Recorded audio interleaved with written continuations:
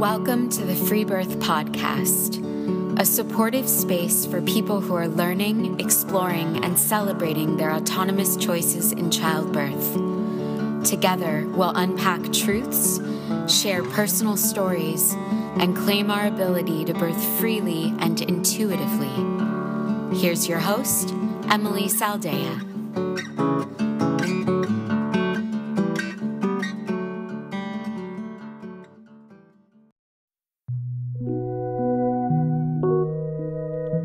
Show, we have Lorena from South Carolina. After a less than desirable hospital birth that included an unconsenting episiotomy and having her baby taken away, Lorena sought to have her second child at a birth center with midwives.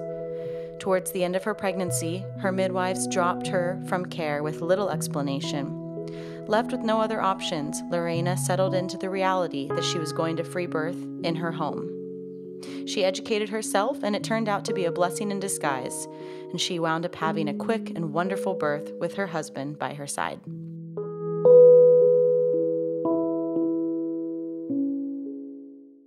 My first baby was pretty much my conventional baby, and my second baby was my all natural baby. Um, I had him through induction for no other reason other than I just didn't want to be pregnant. I was completely done. Mm-hmm. Um, and it was it was an option and it was available and my doctor was like, Yeah, sure, we'll induce you on this day. Um and so I got induced at two o'clock in the morning, went to sleep, woke up seven something, he uh he busted my waters and um I went back to sleep. And uh at like ten I was woken up and uh the nurse was like, "Yeah, you're fully dilated. You're about to have the baby in your sleep." Because I was completely relaxed, and you're relaxed, your labor doesn't get stalled, typically. Um. So yeah, uh the doctor, I didn't see him anytime other than busting my waters and when he came back in for delivery. So uh during uh delivery he cut me so he gave me an episiotomy without really asking me and he did a suction on my baby which was Mm. completely unnecessary and um after that my husband was in the navy at the time and he was in italy so my sister had him on skype on my laptop and so they gave me my son once he came out and put him on my chest for like a couple of minutes and then snatched him and went into this other room and I didn't see him for a good ten minutes. But my husband did. Um And are you sister. like when they're doing all that stuff with the with the um vacuum, are you just like thinking, "Oh, this is just what they do?" No, like it happened so quick because he Yeah. was already coming out anyway. He was Mhm. already coming out anyway. It was completely unnecessary. So I was just like, what the hell is I was I was confused, like what is going on? Is this normal? Mhm. because this is my first child. I don't know. My mom's like, no, don't do that. She's just chilling. So I'm like, okay, I guess I don't know. Mhm. So, yeah, they took him into the other room and started cleaning him up and whatever it is that they do, to, uh, checking his APGAR and all of that. And the nurse and the doctor got into it about it because apparently my son's APGAR, APGAR, APGAR score was low in the first couple minutes, and they got into it about it. So while he's getting cleaned up, I was uh delivering the placenta. Mhm. Um, after that, like throughout the whole time, I kept telling the nurse I didn't want my son away from me. I didn't want my son away from me. So I was kind of pissed that they took him from, into a whole other room at that time. Yeah. And then they moved me to another room and took him.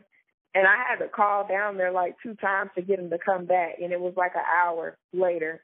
And I was mad about that. I did get to nurse him before they did do that though.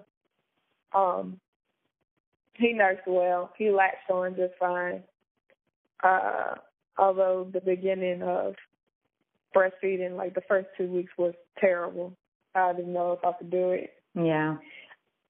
Um, because I say he latched, he latched fine, but like his latch wasn't consistent. But anyway, so fast forward to my next baby. Um, I had him in 2016, and think a lot of things have changed by then. I have gone completely organic, don't mess with any chemicals, um, eating wise, and pretty much in my entire like lifestyle. Um, so what was the what was the age difference? So you have um, you have uh, your baby, you figure out breastfeeding, you're kind of processing that first birth, and what's happening emotionally for you in between the time that you have your first son and your second baby, where you know that you're not going back, or did you not realize that until you were already pregnant again? No, I knew I wasn't going to do any of that again. But then I had like education is what happened. Sorry, you broke up. Say that again. Education is what happened. I, I started educating myself after I had my first son because started breaking out from a lot of the stuff I was consuming, and unbeknownst to me, for six months he was he was a nightmare. He was in pain. He was itching. Mm. Everything was food food allergy induced, and they were like, "Oh, it's eczema. Here's steroids." And I was just like, I wasn't that far gone where I thought steroids was a good idea for a kid. Mm-hmm. Like you know, so um finally I got a food allergy test on him at six months, and it comes to find out well, 15 different things I was eating was making him miserable. Aww. So from that point on, I started looking at ingredients and everything because dairy was a big thing, and dairy is in everything. So looking at ingredients and then realizing I didn't know what none of these chemical names were. So googling and researching what they were, finding out that they cause all kinds of issues: headaches, constipation, migraines, like dizziness, ridiculous amount of symptoms in your food. Mhm. so that made me go organic and you you still got to be careful with organic and read uh, labels on organic foods. My son, my oldest, was three when I got pregnant.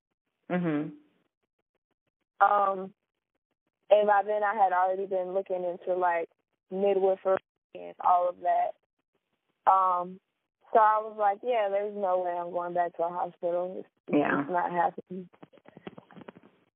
So I started looking at this birth place that I that's near me, and um I'm going in there and I'm just like the person that gets on the person that owns the place. I get on her nerves because I ask too many questions. I ask too many questions and she just she just I guess she expected me to go with the flow and I'm ho- totally past that point in my life. I question mm-hmm. everything. Um well, especially after I'm, the birth that you've had, of course yeah. you're gonna have your wits about you this time. Yeah, and so I'm asking all these questions, and she tells me a couple times, she was like, I don't know if this is going to be the place for you. She was like, you might want to do it at home birth with a midwife, and that's $3,000 on the low end. And I'm just like, I just don't have three thousand dollars to sure. carry my own baby and push my own baby out. Like I'm doing all the work. Mm-hmm. What do you need three thousand dollars for? That just it didn't make sense to me. I don't like that. So um, I mean, no disrespect to midwives. I know that they do great jobs and all, but you know, I'm not I don't got it like that. So um well and look that's you're touching on a very real thing that midwifery uh, you know and three thousand is way cheaper than what it is out here out here it's six thousand in california yeah. and you know like you're you're touching on a, a very real issue that midwifery is for the privileged. It's for people who can afford that. Insurance doesn't cover it. And so and it's not should. accessible. Of course they should, and it's not accessible to everybody. And so it, it really puts, you know, people who don't just have an extra couple thousand dollars laying around in a really hard situation if they want to avoid the one option that they have, you know, other than unassisted, which is to go back and have another abusive birth. Exactly. And like I said, that was the low end because I only saw like one person that was willing to do it for three thousand, mm-hmm. and the rest of them were closer to five. So yeah. I was just like, nah, that's not like I would love to have a home birth with a midwife and be cool, but you know, I'm just not able to do that. It's not in the funds. We get paid. I don't know where this this misconception with the military gets paid really well. We don't. So, um, no. yeah, well, and that's um, and that's that's the tough thing, right? Because it's not it's also not the midwife's fault, of course, for charging no what is truly they gotta, at the end. It, yeah, they got to eat. Like they're doing hard work. Yeah. They they bust ass. Like I've worked with a lot of midwives, and you know, five thousand, six thousand for for how much care they do is like nothing. Yeah. But it ain't nothing. Right. You know, to someone who doesn't have that. So it's exactly. a really yeah, it's a tough spot. And it's it's ridiculous because at the end of the day, it would be cheaper for insurance to cover a midwife than it is for the hospital.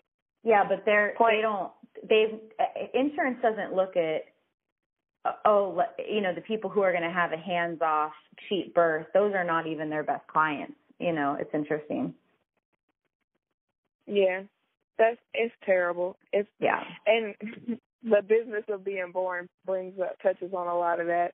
mhm Um, so you're pregnant you're looking for a midwife but everything's a couple thousand dollars. So then what? Yeah, so so I go to uh a birthplace that's near me and um I go there and she was like, Yeah, you should do a home birth and I'm like, Yeah, I can't. So mhm um I'm gonna stick with you guys. I'm just gonna try to make this work and she's like telling me all these stipulations and I'm just like, I thought this was supposed to be a natural birthing center. Like I feel like this is just like a smaller a downgrade from the hospital. so it's a um, birth center that insurance pays for Yeah. It, Okay. I, I see. This is the thing. I was under TRICARE, and they were like, "No, we don't."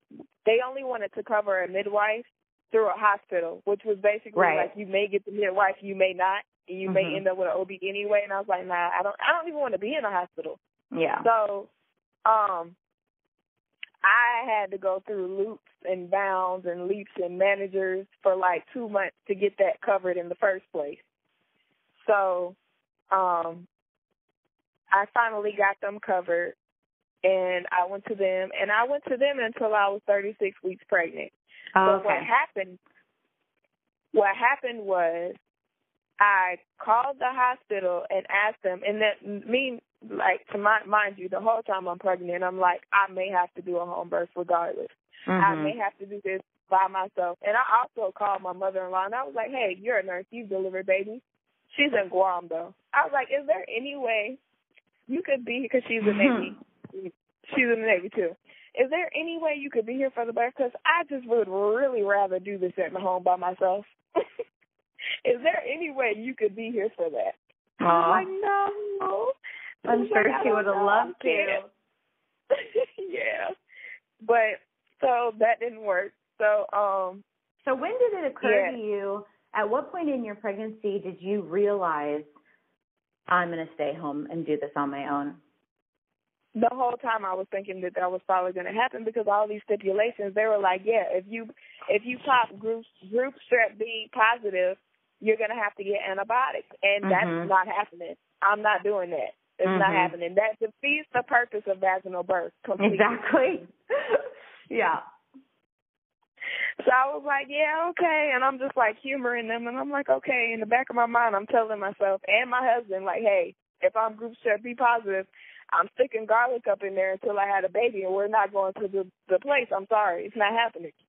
I'm not going to the, um, I'm not going to get antibiotics. It's not happening. You're not sticking me with nothing. I want a natural birth. I don't want nothing stuck up in me. No. So Yeah. my husband and I already knew like that was a possibility, a very strong possibility because that and um what did they say? That was the main thing. I just didn't like the restriction of it all. Like And how did how did your man? Re- of course. And how did your man respond to all of that? Was he He totally- was nervous. He Yeah. was so nervous. He was losing his mind. so? Was that a point of contention in the relationship, or did he eventually get on board? he I mean, he knows he knows how I am and like I've been on this journey of going as natural as I possibly know how and the more I research I can since our oldest was born. So he already knew like that was a very strong possibility and um had we been able to afford it, we would have been doing it with the midwife at home in the first place. Mm-hmm. So Yeah, but you know what? Um, Here's the crazy thing. If you had been able to afford it and done it with a regulated midwife, which is what you probably would have done, you would have had almost all of the same stipulations. You would have had to get antibiotics. Yeah. You would have, you know, like you would have had, it's not like midwives are incredible, especially regulated midwives are incredible at offering all of this informed consent and right to refusal. You know, it is the same thing. You would have been tested for GBS, and if it had been positive, antibiotics would have been strongly recommended and administered every four hours at your home birth. You know? Yeah. And at that point, they would have got fired because I wouldn't have been doing it.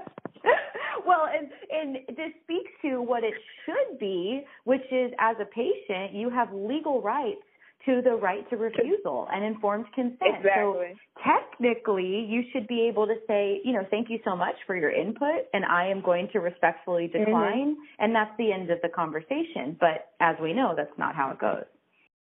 So okay, right. so you you're doing your care with this kind of one level lower than a hospital kind of medicalized birth center. Yeah. And in the back of your mind, you're just kind of like rolling your eyes knowing that you're not really going to show up.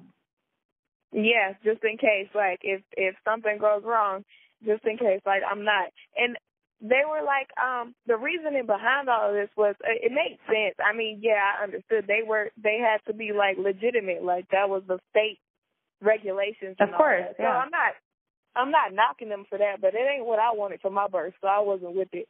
Yeah. So at one point, right before I hit, yeah, 36 weeks, because 37 weeks is when they were okay with delivering me. Anytime before that, they were like, if you if you go into labor before this, you're gonna have to go to the hospital mm-hmm. So at 36 weeks, I started having a lot of false labor, and I was like, I don't know what's going on. I may be having this baby this weekend, and like I hit 37 weeks that next week. And I was like, oh my God, I cannot. So I called the hospital. And I'm like, so I just wanted to know what they did because I haven't done this before by myself. So I was like, if I bring in the baby and I've had my baby at home, what is y'all's procedure? And I called the hospital that they were going to end up sending me to if I had the baby too soon. So what they did was they told the birth center, they asked me who I was delivering with, and I oh, told them. no. And so they they told the birth center, and the birth center called me the next more next uh two days later and like we're gonna have to drop you. yeah. Which They're is like, completely have... illegal. we're gonna have to drop you. I, they was like, so what do you want to do? I said, I wanna I explained myself. I was like, I want to have birth. I want to give birth as a birth consider like I planned to. I called them because I thought I may be in labor mm-hmm. and I wasn't sure what to do. You guys said you wouldn't deliver them, De- deliver the baby before her 37 weeks, and I wasn't 37 weeks. And she was mm-hmm. like, it was the owner too. It was the owner that called me. I was like, I just want to deliver. Like I hit 37 weeks. Like I would like to deliver the way I planned with you all in the water birthing area. And she was like, "Oh no, we're just gonna have to drop you." And I was like, "Wow, okay, it's cool." It's cool. And I, you know what? I hate to like, I hate to bring this up, but like, I really did feel like she felt some type of way with me for one way or another. And sometimes, like, I didn't say anything about it, but I also talked to somebody else of color who had went there, and they got a similar treatment by the really. And I just felt like I felt like I don't know. I she may be prejudiced or something. I don't mm-hmm. know, but well, look, yeah, I mean, so, we know that a lot of people are, and we know, of course, that women of color face this in the medical system. I mean, and other places, obviously, too, but specifically in the medical model, you know, in in so many different ways. So, you know, your your instincts I are mean, probably right. Unfortunately, I, yeah, I mean, I I paid attention to the way that she interacted with every other mother, and her her interactions with me were just not on the same level, and I just I felt that, and I was just like, you know what, it's cool. That sucks. It's fine. It's fine. It wasn't meant to be because you know what, she did me a favor. Yeah, that's the thing. She I, did I, me a I, I've talked to a couple of women of color who have un, who have birthed unassisted, and you know, some of them have straight out said I understand the health disparities of birthing in the hospital as a black woman, and I am not willing to put myself and my baby in that level of danger in the hospital. And so I'm actually choosing to birth at home, which is, you know, super powerful. It just seems like it just seems like some people just like they see you and they just don't care about your well being. Like that doctor who just completely cut me open and suctioned my baby out, like we just didn't matter. Mm-hmm. And uh anyway. Yeah. I could I could go on all day about that. But anyway, so back to the story. Um, thirty six weeks, I hit thirty seven weeks and she's like, We're gonna drop you and I'm like, All right. So I try to find a midwife, nobody's available. So I find a doula one doula, and she's an hour away. Um, we talk from that point on until I have my son for at 39 weeks. So around 37 weeks, so I had a doula for like two weeks. And I Wait, never so she met didn't her. she didn't come to the birth. Uh-uh. I never met her. And we we pretty much planned for it, and just in case she didn't make it, to me to, for me to do it unassisted. Mhm. So, so basically, she was just like a Facebook Messenger support system at that point because I never met her. I still haven't met her. I still haven't met her. Um, and never talked to her, or well, I talked to her a couple times over the phone, and um, she was like a doula. Like that was only not. Well, her fee was only nine hundred dollars. Like that's expensive, but that's still like I was able to swing that if I needed to do it Sure. and I was willing to do it versus going to the hospital and dealing with whatever trauma may ensue ensue from that. So And what did you what did you potentially get from the doula, knowing that she's non-medical, so she wasn't going to be able to do anything like in an emergency or something? But but what were you get, getting out of her supporting you? she was supporting me well. I, well anything like when I t- would have like issues like uh, for a while I had a yeast infection that would not go away. Oh, let me backtrack. The way the way I passed my GBS um group strep B test Mhm. because I was because I had yeast a lot and I didn't know if that would make me pop positive. Like I was just really nervous about it because of the antibiotic situation. Sure. So for like ten days straight, I put a whole garlic clove up in my vagina. Mhm. I poked holes in it with a fork and stuck it in there, and I came out negative because uh garlic kills it. It's a natural antibiotic. Well, it all it, it's very temporary because the GBS is actually in the gut. It's happening in Right. the gut, and then it comes down into you know the vaginal and rectal area. So the the yeast, the garlic, it it can work to get a negative, but it's very temporary. If you're producing that true bacteria out of your gut, it's not going to fix the gut. Um, but you know, in the hospital system, it is a good trick to temporarily get a negative. Totally. And I was completely okay with that. Totally, yeah. You didn't care either way. yeah. completely. Because like we said, like it's it's very rarely transferred anyway. So Mhm. I was completely okay with that. And at But, the end of the um, day, it's up to you. You know, you're the mom. You're the guardian of your baby. And I just I, I get so fed up with this idea that the medical model cares more about your baby than you do. Like that is that is not that is not true. You know, it is it is a very, very, very rare and and sick woman who doesn't care, you know, about the wellness of her baby. I've never met a woman like that. You know, it's right. It's it's so degrading to the mother to act like not only do they know best, but they care more. Yeah. Because you're you're gonna see this baby and raise it and take care of it from Exactly. the this tall. And like you pointed to, I mean, you're just a number at a hospital or this high volume birth center. Your baby's just a number. Like, of course, they want you guys to survive, but beyond that, they don't care. You know, you're not like a part of As their long as, right. Whereas as long as you, you don't negatively affect them and you don't sue them, they don't. They're good. hmm They're completely fine. Um. so you're 30. You go into labor at 39 weeks. Yeah. So I go into labor while um I'm washing dishes And and is, watching is a your TV show. is your man at this point like totally on board, and or is he still kind of anxious? I mean, so this is what we did. This is what I did. The whole time, like my doula was like, "Yeah, you know what you need to do? Find out everything that you could that can possibly go wrong, and figure out what you're going to do about it." So in this instance, what are you going to do? At what point do you think you need to call 911? Because you need to be aware that that might be a possibility. And I'm like, okay, cool. So I found out what I need to do if the cord is wrapped around his neck, if I hemorrhage, um, which is eat a piece of your placenta. Um, mm-hmm. And all these other things that could possibly go wrong with birth. And I prepare for them. I watch every YouTube video of birth. I bet. I watch a bunch of documentaries on birth. Pretty much for those from from 37 weeks until I gave birth, I was all about birth. Mm-hmm. Everything I could possibly consume and get my hands on, I was reading about it and I was relaying all the information to my husband, my sister, and my mother.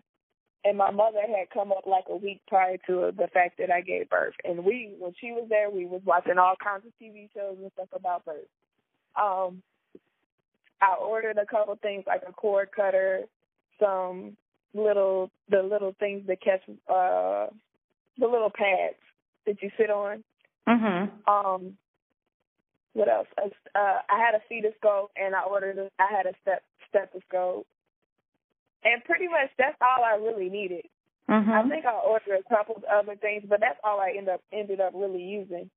So I go into labor while um I'm washing dishes and like I'm just like my mom was like, Are you all right? And I was like, I think I might be in labor. I'm having some really strong contractions. She was like, Well sit down. I'm gonna finish the dishes. I was like, Nope. I'm just gonna keep rocking back and forth and wash dishes in between each wave. And that's what I did. That's what I did until I finished the dishes and then I felt this like strong urge to poop and so I was like, Okay, Oh my gosh. Um I was like, "Hey guys, um, I might be giving like he might be coming out right now, so I'm gonna go." Oh my god! I was like, "I'm I need to poop," so I went and I pooped and like I don't remember if I pooped or not. I tried. I think maybe like a little came out. Yeah. I tried. Like okay, so meanwhile, my sister is heating up hot water because we didn't have a lot of hot so, hot water supply in my old house. My sister heats up hot water my husband cleans out the tub and starts running the water and lights my candles and everybody's trying to contact my doula. oh no, what happened? everybody's trying to contact my doula. This happened at when did I go in labor? I went in labor at around eleven thirty because I was only in labor for ninety minutes um around eleven thirty because I had my son right before one. So yeah, I get in, I poop, and I get in the tub, and. But wait, um, where where was your doula? Did she just not make it, or was she not able to no, get a hold of? She didn't answer the phone until I started cramming. Oh my gosh. like I said, I was only in labor for ninety minutes. Yeah. So, uh, I get in the tub and I'm like screaming screaming.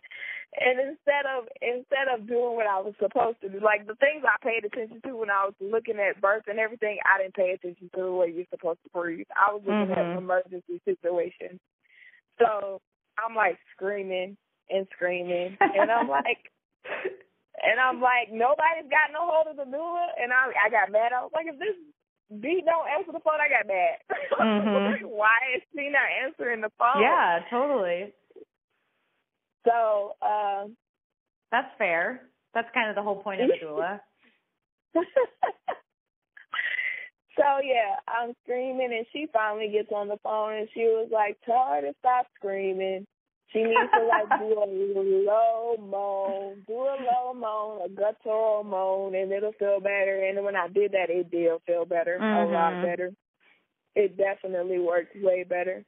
Um, but yeah, so I um that I started doing that, and he was coming out, and I'm trying to think. It happened so fast. Yeah, it sounds like it. You were basically did the dishes and then pooped and then went in the bathtub and had your baby. yeah, that's pretty mm. much how fast it went. So I got Yeah. in there and he like at one point I just was getting tired of waiting on him. I stood up and started bouncing. I was just like basically twerking trying to get him to come out and he was like, What are you doing? what are you doing? He was like, You're gonna make him fall out. I was like, that's kind of the point. Yeah. Please just get this baby out of me. so uh he was like, just sit down, sit down. So I got back down on my knees. And, and like hindsight, next time I'm gonna put like a yoga mat or something in the tub because my knees was hurting doing that. Um, but I ended up giving birth like on all fours, and my husband caught him. Mhm. He started he started crying like as soon as his chest came out a little bit. He started crying. He didn't even. He wasn't even fully out before he started crying. Um, the baby, the baby, or your husband? my baby, my baby. I have a video on Instagram. I could I could send you the birth video. Yeah, we Um, should post it. Definitely, I'll send it to you. But he started crying before he was even fully out. And Mhm. I remember feeling down there, and I was like, "Is he out yet?" And I felt something. I was like, "What is that?" It just felt really weird, and it turned out to be his head and like all of the stuff that was in his hair. Mhm. I was confused for a second, but um, he finally came out. My husband caught him, um, and then I turned over and he handed them to me, and it was just it was amazing. It was completely empowering. Nobody Mm. was telling me what to do. It was completely on my terms. It was absolutely perfect Hmm. absolutely perfect. The only thing that went the way I didn't want it to go, and this is completely back to my first birth, I tore exactly where that man cut me. Mhm. Yeah. Exactly where he cut me. And uh the thing about when you uh when they're crowning it, you gotta breathe through not push and let them slide on out. And he slid on out but I still tore I still tore where he cut me. So, And it what makes did? me wonder how that Sorry. Go ahead. it makes me it it makes me wonder if I would have tore it off. He hadn't cut me right there. Sure, I, of course. Well, so what I did you do- what did you do with that tear? Did you have to go in and get it sutured, or did you just let it ride? I I no, I didn't go in to get stitches. I left it Yeah. alone. Mhm. And it healed on its own. Yeah, it took a long time because I actually messed up messed it up from healing. I thought I was starting my period at one point, and it was um I had stopped bleeding after after I don't remember the time frame, but I thought I had stopped bleeding and it, and then I started bleeding again, so I thought it was my period. So I put a diva cup in there and I just messed it Mm. up. Yeah. So it it took longer to heal, and it was pretty painful for several months. Um, Mm, I bet. but that was my fault. That was my fault. So, um, and how was but yeah, I- breastfeeding the second time around? breastfeeding was so easy. It was like it never stopped. I breastfed my first until he was two, Mhm. so it's like it wasn't like a big deal. like. So I went basically one year without breastfeeding, and I was back to breastfeeding. Back in the saddle. Cause yeah, because he was three at the time. Um, Mhm. But yeah, I gave birth to him, and we sat in the tub, and it, I I delivered my placenta, and like at this point, I should have just hung up with the doula because she was rushing me. She was like, "Oh, the placenta should be out by now," and it really it takes as long as it takes for the Yeah. placenta to come out. As long as you're not hemorrhaging, it's chill. And I wasn't. yeah. Yeah, she was like, "The placenta should be out by now," and so rushing, trying to get it out, not not paying attention to my body at that point. I was like pushing and pushing it. So when it came out, it broke open. And that Mm. made me mad because I planned on lotus birthing him. And I was ready. I had everything. I had a lotus birth bag. I had all the herbs. I had a big thing of salt. I was ready for it. Um, but I couldn't do that because the bus opened. So instead, I just waited. I I didn't get out of the tub for two hours. I But your bleeding was okay. yeah, my bleeding was fine. It was completely I was completely fine. Um, I didn't get out of the tub for two hours and uh I was waiting for his cord to completely stop pulsating. It was completely white by the time I got out. Mhm. And we finally and we finally cut it at that point. But that was also why I wanted to lotus birth so he could get absolutely everything from the placenta. But it it broke open and then I couldn't risk the infection it might cause. Totally. Yeah. Um So then, did you ever follow up with the birth center after that? No. Or I guess they had already um, dropped you, so I guess it didn't matter. Yeah, they dropped me. What did I go there for? I had to go there to to get a birth certificate. I had to mm-hmm. go there to get proof that they had seen me to see like proof like paperwork saying that they had seen me pregnant and they had seen my baby afterwards. Like not like physically like done a physician checkup, but just mm-hmm. like seeing the baby that the baby was alive. Mm-hmm. So that was it. That's the only reason I went back. Um but nah, we didn't we didn't go back to them. Won't go and, back to them either. Yeah. And how did your community respond, you know, as as you shared your story? Oh, I I had a lot of people like, "Oh my god, I can't believe you did that." I had a couple of people repost my stuff and like, "Look at her, congratulations! I'm so proud of you." Da da da. da. Like, mm-hmm. I can't mm-hmm. believe you did that. Like, and, and anytime I tell somebody that doesn't know about it already, they're just like in in utter shock. Mm-hmm. And like hindsight, had somebody told me this before I had kids, I would be too, because it's not normal. Like I don't mm-hmm. hear about this all the time. I actually rarely hear about it unless I'm looking for the information. Totally. I had yeah. to search for an assisted group on Facebook, and they provided a lot of support and like a lot of information. I learned a lot from them as well. Mhm. I'm still a part of them just in case I have another because I totally plan on doing this again. So how how did you navigate the kind of like the the what if factor in preparing? You know knowing that you guys would be alone knowing that even if your doula had made it she's non-medical. So how did you navigate the potential concerns you know of what if something happens like I said, I prepared. Like if something happened that we were, we knew we were gonna have to call nine one one. That was always in the back of my mind. But at the same time, I was like, I'm not gonna feed into the negative energy. I prepared myself as much as I can mm-hmm. for any possible possible negative outcome. But I'm not giving energy. I just kept envisioning the way I wanted the birth to go, and it went that way. Other than the tear, which it was out of my hands in the first. Yeah. And so, he came so fast. Yeah.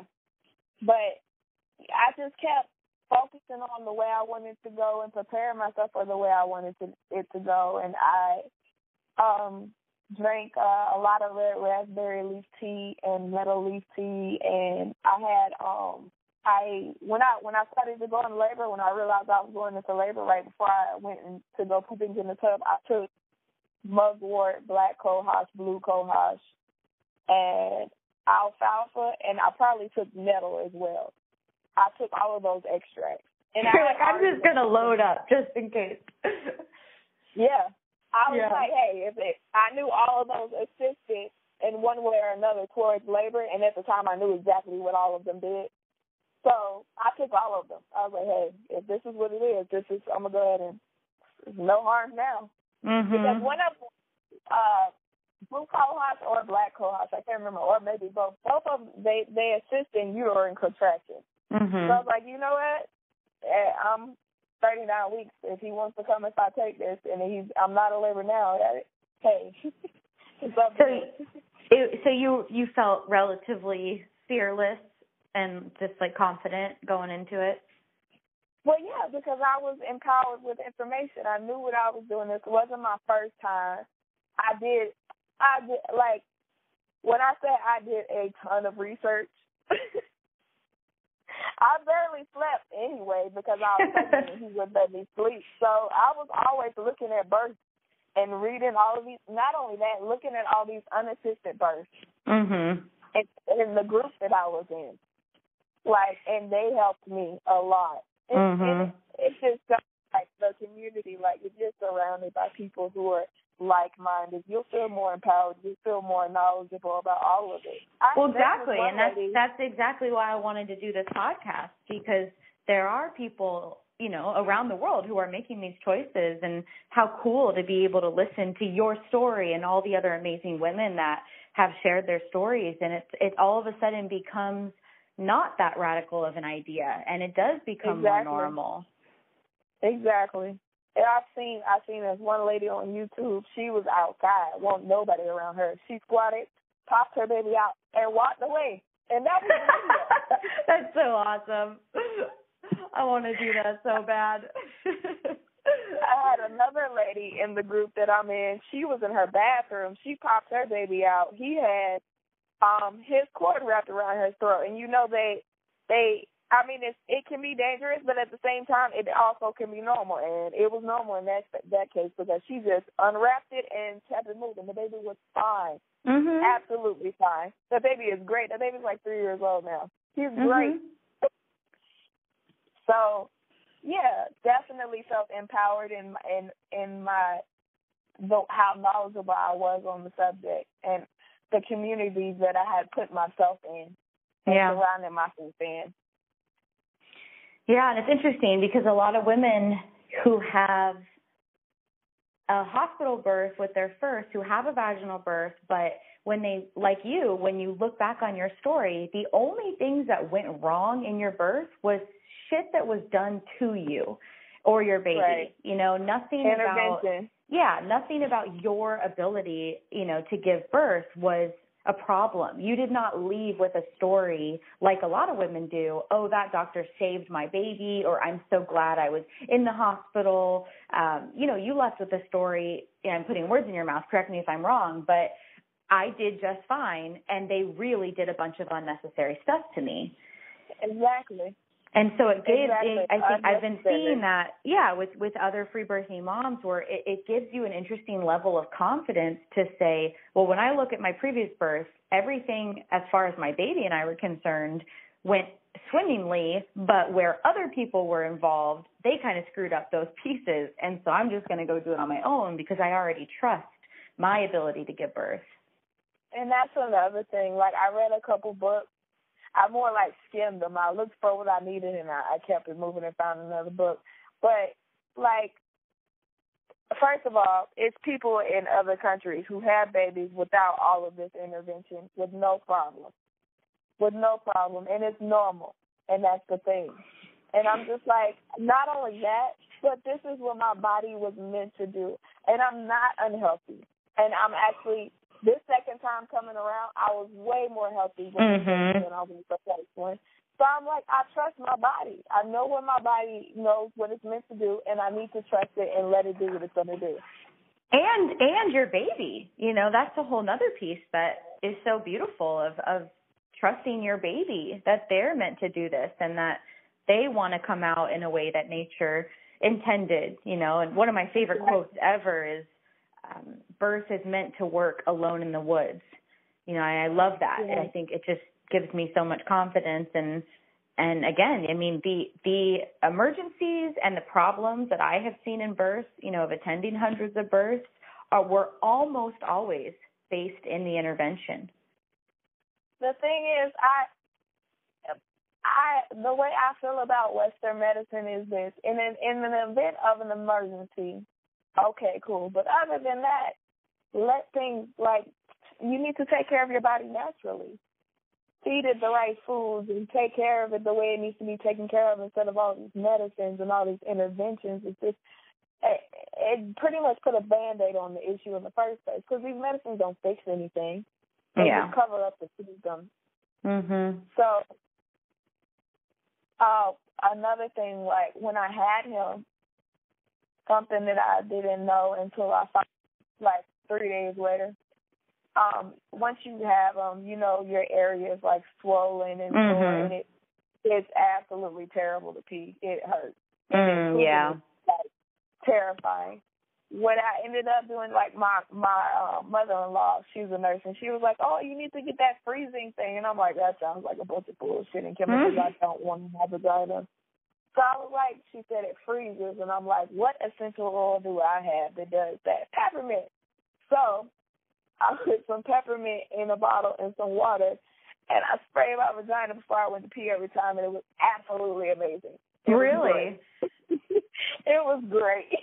Nice. I was like, it feels so good. nice. I've never heard of peppermint oil. Yeah, I was like, I don't feel any pain. This is great. I think wow. I either put it with water, I put it with water, or I put it with Ricase, or I did both. I don't remember. Mm-hmm. But yeah, I wanted nice. to say that because somebody may not be wanting to deal with the chemicals like I didn't, and I think that should be known. totally. Nice. Yeah, I've never heard of that working. I mean, I've heard of like the frozen pads and the sitz bath herbs and all that stuff, but I've never specifically yeah. heard of peppermint oil. Awesome. Sitz bath are awesome too. Mhm. Sitz bath. I ended up using the herbs that I was going to put in my um lotus birth bag in my sitz bath. Mhm. It was great. Nice. Hot water. I mean, any like even if you were like when you have rough sex, if you put a hot towel down there, it feels good. But that's basically how sitz bath is. Mhm. Totally. Well, we got to put your video up on my my uh, Instagram feed if you're down to share it. I'm sure people would love to see it.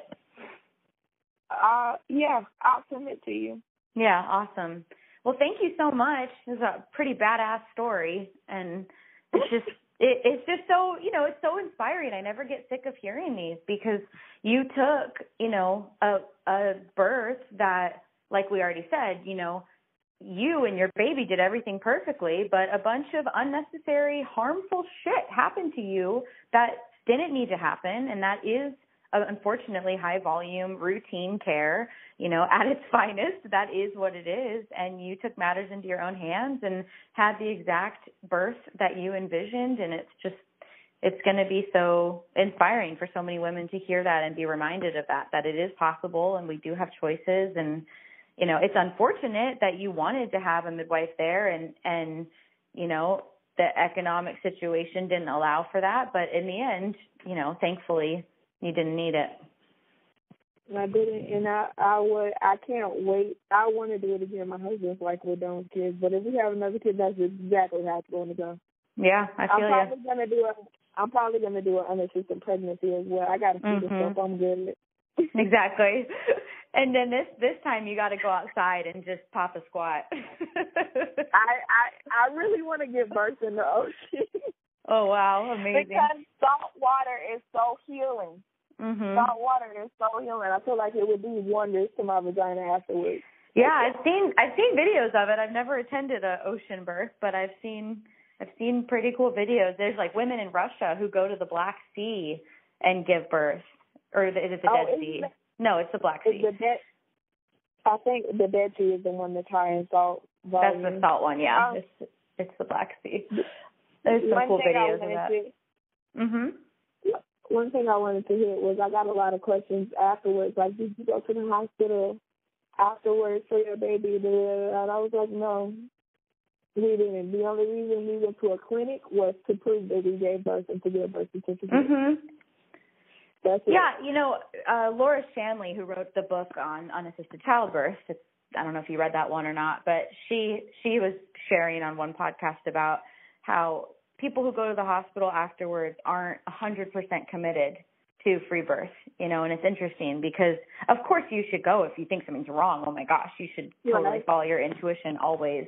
Um, but you know, I hear a lot of stories of people who go because the placenta didn't come out quickly, or you know, and a part of that is if you do enough research and enough inundating yourself with the normalcy of birth, uh, you probably won't run to the hospital. You know, you probably will be able to feel confident in looking over your baby and assessing your own baby. Um, and so, yeah, I'm glad you didn't feel like you had to go. No, we went to sleep. I took yeah, exactly. That's awesome. I took a shower, got in the bed, and went to after I ate something, and then went to sleep. Mhm. Beautiful. Okay.